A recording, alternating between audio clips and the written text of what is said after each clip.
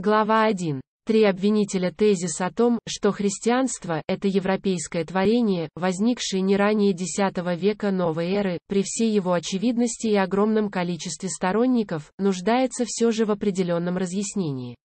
Оно будет приведено ниже и по необходимости будет довольно кратким, для более подробного его изложения нам бы потребовалось привлечь материал объемом многократно превышающий скромные размеры настоящего издания, в том числе историю христианской церкви, историю античности и раннего средневековья. Три выдающихся мыслителя разных эпох и народов не побоялись, каждый в свое время, бросить вызов официальной историографии, устоявшимся представлениям и всему обычному знанию, которое вдалбливали в головы многим поколениям школьников. Возможно, не все современные их последователи знают имена этих своих предшественников, по крайней мере, не все их упоминают. Гардуэн первым был Жан Гардуэн, ученый-иезуит, родившийся в 1646 году в Британии и работавший учителем и библиотекарем в Париже. 20 лет от роду он вступил в орден, в 1683 году возглавил французскую королевскую библиотеку. Современники поражались обширности его познаний и нечеловеческой работоспособности, научным изысканиям он посвящал все свое время с 4 часов утра до поздней ночи. Жан Гардуэн считался непререкаемым авторитетом в области теологии, археологии, изучения древних языков, нумизматики, хронологии и философии истории. В 1684 году он издал Речи Тимистия, публиковал работы о Горации и по античной нумизматике, а в 1695 году представил на суд общественности исследование последних дней Иисуса, в котором, в частности, доказал, что по традициям Галилеи Тайная Вечеря должна была состояться в четверг, а не в пятницу. В 1687 году французское церковное собрание поручило ему колоссальную по объему и значению задачу – собрать материалы всех церковных соборов, начиная с первого века новой эры, и, приведя их в соответствие с изменившимися догмами, подготовить к печати. Работу заказал и оплатил Людовик XIV. Спустя 28 лет, в 1715 году, титанический труд был окончен. Янсенисты и адепты других богословских направлений в течение десяти лет оттягивали издание, пока в 1725 году материалы церковных соборов, наконец, не увидели свет. Благодаря качеству обработки и умению систематизации материала, до сих пор считающегося образцовым, он выработал новые критерии для современной исторической науки. Одновременно с главным трудом жизни Гордуин издавал и комментировал многие тексты, прежде всего, критику естественной истории Плиния, 1723. Но, несмотря на то, что безупречный образ жизни и научные достижения ученого-иезуита снискали ему славу и уважение в образованных слоях общества, его критика письменного наследия античности вызывала ожесточенные нападки коллег.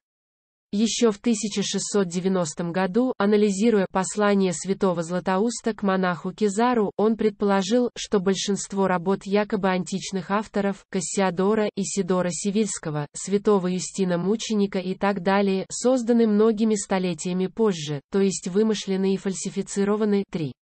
Переполох, начавшийся в ученом мире после подобного заявления, объяснялся не только тем, что суровый приговор одного из образованнейших людей того времени было не так-то легко опровергнуть. Нет, многие коллеги Гордуэна были прекрасно осведомлены об истории фальсификации и более всего опасались разоблачения и скандала. Однако Гордуэн, продолжая расследование, пришел к выводу, что большинство книг классической древности, за исключением речей Цицерона, сатир, Горация, естественной истории Плинии, Георгию, Вергилия, 4, являются фальсификациями, созданными монахами XIII века и введенными в европейский культурный обиход. Это же относится и к произведениям искусства, к монетам, к материалам церковных соборов до XVI века и даже к греческому переводу Старого Завета и якобы греческому тексту Нового Завета. Приводя многочисленные доказательства, Гордуэн показывал, что Христос и апостолы, будь таковые существовали, должны были молиться на латыни. Тезисы ученого-иезуита вновь потрясли научное сообщество, тем более что и на этот раз аргументация была неопровержимой.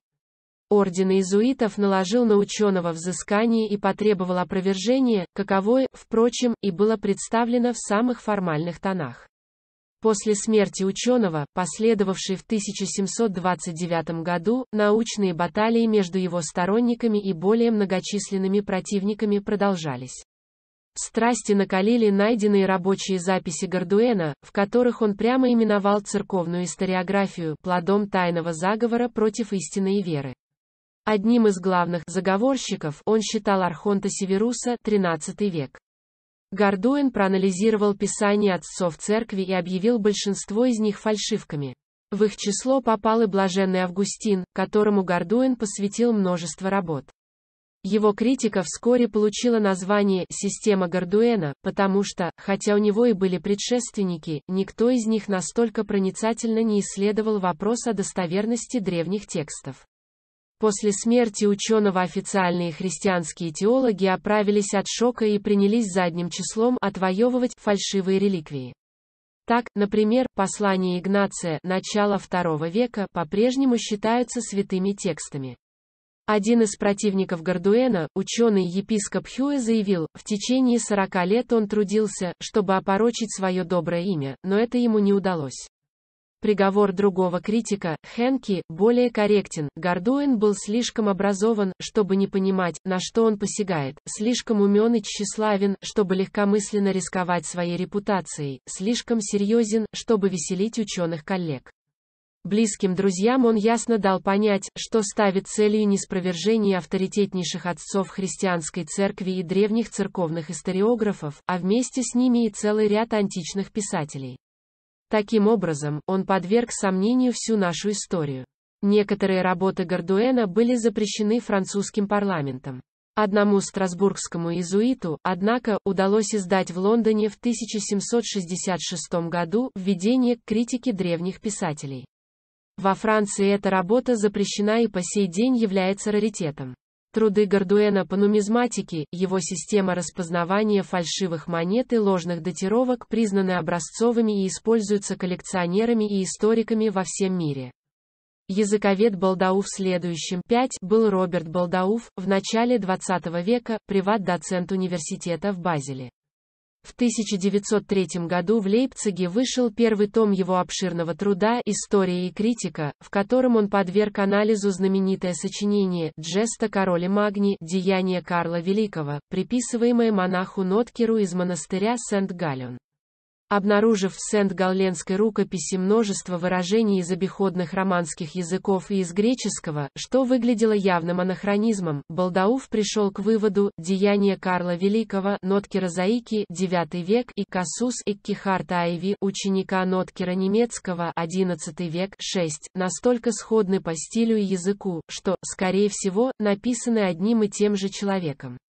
На первый взгляд, по содержанию они не имеют между собой ничего общего, следовательно, в анахронизмах виноваты не переписчики, следовательно, мы имеем дело с фальсификацией. Сент-Галленские сказки удивительно напоминают сообщения, считающиеся исторически достоверными. По Ноткеру, мановением руки Карл Великий срубал головы крошечным, величиной с меч, славянам. По анналам Эйнхарта, при Вердене этот же герой в одночасье уничтожил 4500 саксов. Что, по-вашему, правдоподобнее?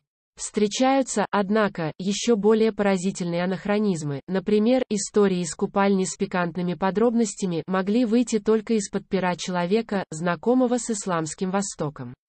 А в одном месте мы встречаемся с описанием водных ордалей, Божьего суда, содержащим прямой намек на Инквизицию. Ноткеру известно даже Илиада, Гомера, что Балдауфу кажется совершенно абсурдным. Смешение гомеровских сцен с библейскими в деяниях Карла Великого наталкивает Балдауфа на еще более смелые выводы, поскольку большая часть Библии, в особенности Старого Завета, тесно связана с рыцарскими романами и Илиадой, можно предположить, что возникли они примерно в одно время. Подробно анализируя во втором, 7 томе «Истории и критики» греческую и римскую поэзию, Балдауф приводит факты, от которых вздрогнет любой неискушенный любитель классической древности. Он находит множество загадочных деталей в истории, выплывших из небытия в XV веке классических текстов и подводит итог, слишком уж много неясностей, противоречий, темных мест в деле открытий гуманистов XV века в монастыре Сент-Галлион. Разве это не удивительно, если не сказать, подозрительно? Странное дело, эти находки. И как быстро изобретается то, что хочется найти. Балдауф задается вопросом, не изобретен ли Квинтилиан, следующим образом критикующий Плафта, Т, Х, 1, музам приходилось говорить на языке Плафта, а им хотелось говорить на латыни. Плафт писал на народной латыни, что для второго века до Н.Э. было абсолютно немыслимым. Упражнялись копиисты и фальсификаторы в остроумии на страницах вымышленных ими произведений. Кто знаком с творчеством рыцарей Карла Великого с их римскими поэтами от Эйнхарда, тот оценит, как забавно вышучивается там классическая древность. Балдауф обнаруживает в произведениях античных поэтов черты типично немецкого стиля, совершенно несовместимого с античностью, как, например, аллитерации и конечные рифмы. Он ссылается на фон Мюллера, который полагает, что казино-пролог Квинтилиана также изящно зарифмован. Это касается и прочей латинской поэзии, говорит Балдауф и приводит поразительные примеры. Типично немецкая конечная рифма была введена в романскую поэзию лишь средневековыми трубадурами. Подозрительное отношение ученого к Горацию оставляет вопрос, был ли знаком Балдауф с трудами Гордуэна открытым. Нам кажется невероятным, чтобы маститый филолог не читал критику французского исследователя. Другое дело, что Балдауф в своей работе решил исходить из собственных посылок, отличных от двухсотлетней давности аргументов ученого-иезуита. Балдауф выявляет внутреннюю взаимосвязь между Горацием и Овидием и на вопрос, как можно объяснить очевидное взаимовлияние двух античных авторов, сам же отвечает, кому-то это вовсе не покажется подозрительным, другие, рассуждая, по меньшей мере, логично, предполагают наличие общего источника, из которого черпали оба поэта. Далее он ссылается на Вюлефлина, который с некоторым удивлением констатирует, классические латинисты не обратили друг на друга внимания, а мы приняли за вершины классической литературы то, что на самом деле является позднейшей реконструкцией текстов людьми, чьих имен мы, возможно, никогда не узнаем. Балдауф доказывает использование в греческой и римской поэзии аллитерации, приводит в пример стихотворение немца Муспилли и задается вопросом, откуда аллитерация могла быть известна Горацию. Но если в рифмах Горация обнаруживается немецкий след, то в написании чувствуется влияние уже сформировавшегося к средним векам итальянского языка, частое появление непроизносимого «н» или перестановка гласных. Впрочем, в этом, конечно же, обвинят нерадивых переписчиков, заканчивает пассаж Балдауф с 66. Записки о Гальской войне Цезаря также буквально кишат стилистическими анахронизмами с 83. О последних трех книгах «Записок о Гальской войне» и трех книгах «Гражданской войны» Цезаря он говорит, всем им свойственна одна и та же однообразная рифмовка тоже относится к восьмой книге «Записок о Гальской войне», о Влагирце, Александрийской войне и Африканской войне. Непостижимо, как можно считать авторами названных сочинений разных людей, человек, обладающий маломальским чувством стиля, тотчас узнает в них одну и ту же руку.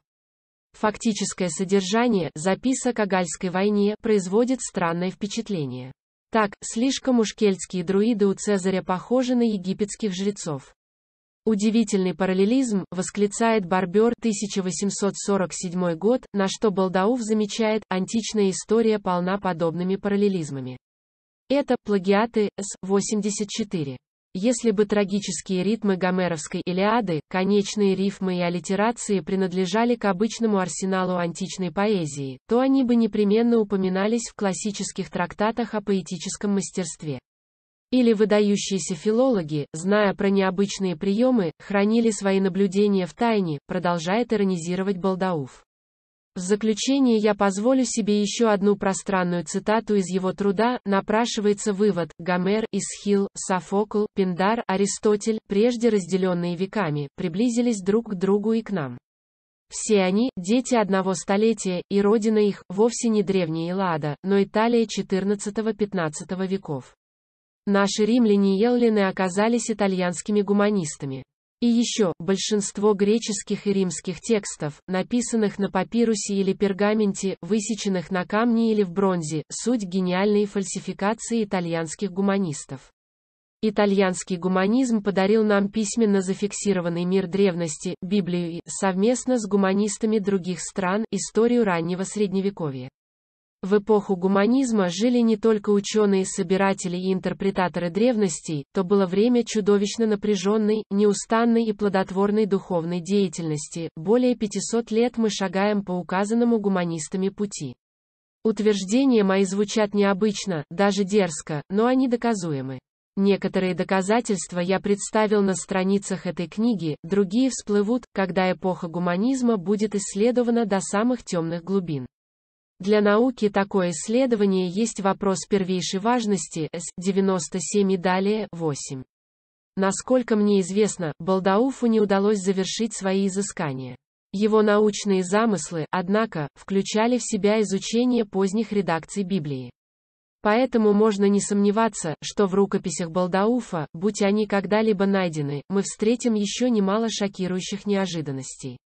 Камайор и широкомасштабная операция. Третьим видным обвинителем был Вильгельм Камайор, родившийся между 1890 и 1900 годом, немец, 1991. Он учился юриспруденции, работал в конце своей жизни школьным учителем в Тюрингии, где и скончался в 50-е годы в полной нищете, 9. Полем приложения его исследовательской деятельности стали письменные свидетельства Средневековья.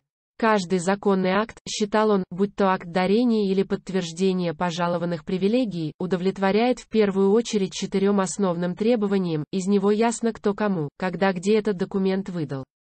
Документ, адресат которого либо дата выдачи неизвестны, теряет юридическую силу.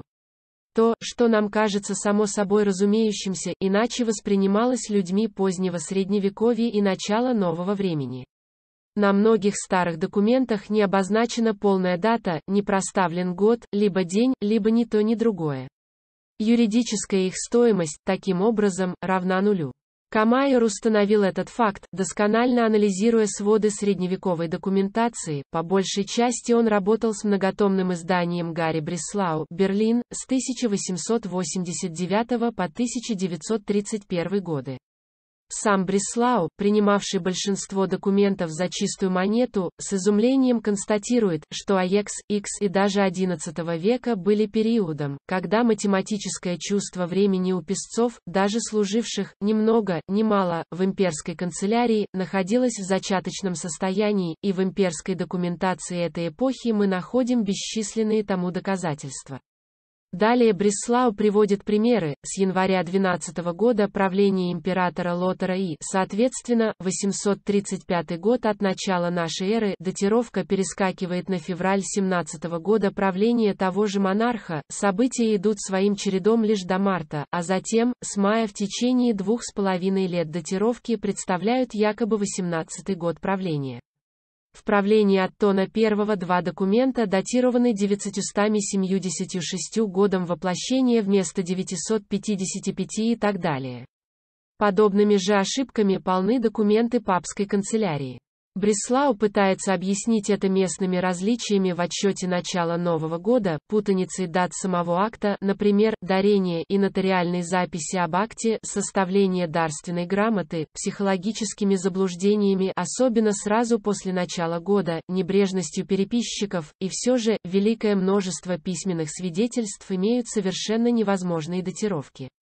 Но мысль о фальсификации не приходит ему в голову, напротив, часто повторяющаяся ошибка подтверждает для Бреслау подлинность документа. И это несмотря на то, что многие даты, очевидно, проставлены задним числом, иногда таким образом, что их просто не разобрать. Бреслау, человек энциклопедической образованности, с трудолюбием крота перерывший массу материала, проработавший десятки тысяч документов, так и не смог оценить результаты своего научного поиска и, поднявшись над материалом, увидеть его под новым углом зрения. Первым это удалось Камайеру. Один из современников Камайера, Бруно Круш, трудившийся, как и Бреслау, в академической науке, в очерках по франкской дипломатии 1938 С-56, сообщает, что ему попался документ, в котором недоставало букв, и, на их месте зияли лакуны. Но он и прежде сталкивался с грамотами, где для имен были оставлены свободные места для позднейшего заполнения С-11. Существует много фальшивых документов, продолжает Круш, но не каждый исследователь способен разглядеть подделку. Бывают нелепые подделки с немыслимой датировкой, как, например, грамота о привилегиях короля Хладвига III, разоблаченная Хиншином и Папиброхом еще в XVII веке. Грамоту, предоставленную королем Хлотаром Тремиабезье, которую Бреслаю считает вполне доказательной, Круш объявляет чистой воды фальшивкой, никогда и не оспариваемой вероятно по той причине, что ее мгновенно распознавал как таковую любой понимающий критик. Собрание документов Кроникон Бесуэнес Круш безоговорочно относит к фальсификатам XII века с 9-10. Изучая первый том «Собрание актов» Перца 1872, Круш хвалит автора собрания за то, что тот обнаруживает наряду с 97 якобы подлинными актами мировингов и 24 якобы подлинными актами мажордомов почти столько же подделок, соответственно 95,8. Главной целью любого архивного исследования является определение подлинности письменного свидетельства. Историк, не достигший этой цели, не может считаться профессионалом в своей области. Дополнительно к разоблаченным пирцам-фальшивкам, Круш называет таковыми многие из признанных пирцем за подлинники документы. Частично на это указывали уже разные другие исследователи. Большинство фальсификатов, не распознанных пирцем, по мнению Круша, настолько очевидны, что не подлежат серьезному обсуждению, вымышленные топонимы, анахронизмы стиля, ложные даты. Одним словом, Камайор оказался просто чуть радикальнее корифеев немецкой науки. Несколько лет назад Ганс Ульрих Нимец, вновь проанализировав тезисы Камайера, заключил, что фактический материал, собранный скромным учителем из Тюрингии, способен повергнуть в трепет любого здравомыслящего представителя академической науки, не существует в рукописи подлинника ни одного важного документа или серьезного литературного произведения Средневековья. Имеющиеся же в распоряжении историков копии настолько разнятся друг от друга, что реконструировать по ним исходный оригинал не представляется возможным. К этому выводу с завидным упорством приводят генеалогические деревья сохранившихся или цитируемых цепей копий. Учитывая, что масштабность явления исключает случайность, Камайор приходит к выводу, многочисленных предположительно утраченных оригиналов никогда не существовало в действительности, 1980 с 138. От проблемы копий и оригиналов Камайор переходит к анализу фактического содержания документов и, между прочим, устанавливает, что германские короли и императоры были лишены постоянного места жительства, находясь всю свою жизнь в пути. Часто они присутствовали в двух местах одновременно или в кратчайшие сроки преодолевали огромные расстояния. Основанные на подобных документах современные хроники жизни и событий содержат сведения об императорских беспорядочных метаниях. На многих официальных актах и грамотах отсутствует не только дата и место выдачи, но даже имя адресата. Это относится, например, к каждому третьему документу эпохи правления Генриха II и к каждому второму эпохи Конрада II. Все эти слепые акты и грамоты не имеют юридической силы и исторической достоверности 11. Такое обилие фальсификатов настораживает, хотя ограниченное количество подделок следовало бы ожидать. При более внимательном рассмотрении Камайор приходит к выводу, подлинных документов практически не существует, а фальшивки изготовлены в большинстве случаев на крайне низком уровне, причем неряшливость и торопливость в изготовлении фальшивок не делает чести средневековой гильдии поддельщиков, анахронизмы стиля, правописания, разнобой шрифтов. Распространенное повторное использование пергамента после соскабливания с него старых записей противоречит всем правилам искусства подделок. Возможно, многократное соскабливание текстов со старых пергаментов полимпсест есть не что иное, как попытка, состарив полотно оригинала, придать большую достоверность новому содержанию. 12. Итак, установлено, противоречия между отдельными документами непреодолимы. На вопрос о цели изготовления бесчисленного множества в материальном смысле ничего не стоящих фальшивок Камайор дает, на мой взгляд, единственно логичный и очевидный ответ. Фальсифицированные документы должны были, заполнив лакуны идеологически и мировоззренчески правильным содержанием, сымитировать историю. Юридическая ценность подобных исторических документов равна нулю. Гигантский объем работы определил ее поспешность, неуправляемость, как следствие, небрежность в исполнении, многие документы даже не датированы. После первых ошибок с противоречащими друг другу датировками начали оставлять строку для даты незаполненной, словно составители ждали и не дождались появления некой единой установочной линии. Широкомасштабная операция, как определил предприятие Камайор, так никогда и не была завершена. В высшей степени необычные идеи Камайера, кажущиеся мне теперь основанными на верной базисной идее, не были приняты современниками. Продолжение начатого им расследования и поиски ясности должны стать важнейшей задачей всех историков. Осмысление открытия Камайера подвигло меня предпринять исследования, результатом которых стало твердое убеждение в том, что, действительно, начиная со времен ранних гуманистов, Николай Кузанский и до иезуитов, осуществлялась сознательная и усердная фальсификация истории, лишенная, как уже было сказано, единого точного плана. Произошло страшное изменение нашего исторического знания. Результаты этого процесса затрагивают каждого из нас, ибо они застилают нам взгляд на действительные прошлые события. Ни один из трех вышеназванных мыслителей, не осознавая изначально истинных масштабов акции, вынужден был постепенно, шаг за шагом исследовать, а затем, один за другим, отвергать сетавшиеся им подлинными документы античности и средневековья. Их путем последовал и я. Несмотря на то, что вынужденные отречения, запрет со стороны государственной либо церковной власти, несчастные случаи, я вспоминаю лакунцу, а то и стесненные материальные обстоятельства способствовали стиранию из научной памяти свидетельств исторического обвинения, всегда находились и находятся новые правдоискатели, в том числе и в собственных рядах историков-профессионалов, с исследованиями которых мы познакомимся в следующих главах.